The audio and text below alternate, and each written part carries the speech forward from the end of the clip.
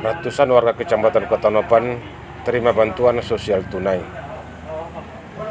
Ratusan warga Kecamatan Kota Nopan, Kabupaten Mandaling Natal menerima bantuan sosial tunai dan subsidi minyak goreng. Bantuan itu diserahkan mulai hari Senin semalam sampai dengan hari Kamis dengan nilai sebanyak Rp900.000 dengan masing-masing rincian besaran bantuan sosial tunai 200 ribu per bulan mulai bulan April, Mei, Juni.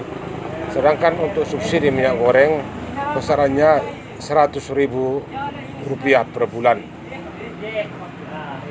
Ratusan warga ini berdatangan dari sejumlah desa di yang ada di Kecamatan Kota Nopan pantauan di lapangan mereka dengan sabar antri menunggu antrian untuk menerima bantuan sosial, sosial tunai yang diberikan oleh pemerintah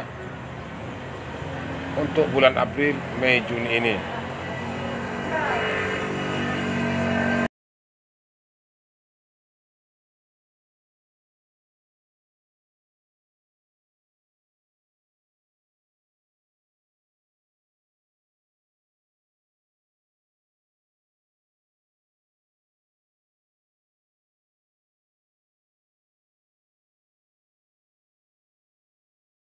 Karena kegiatan pembagian atau penyaluran bantuan sembako pemerintah Pak.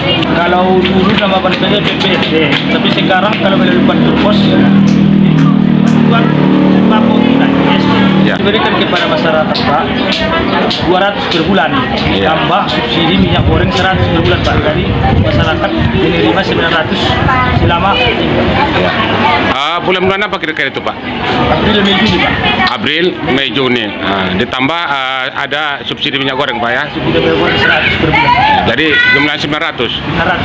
Ah, mulai Senin kemarin sampai mulai Selasa, Selasa. Kamis. Kamis. Ah, jadi berikut ya Ada itu datanya Pak. ada datanya Pak ya. Sudah panggil namanya itu.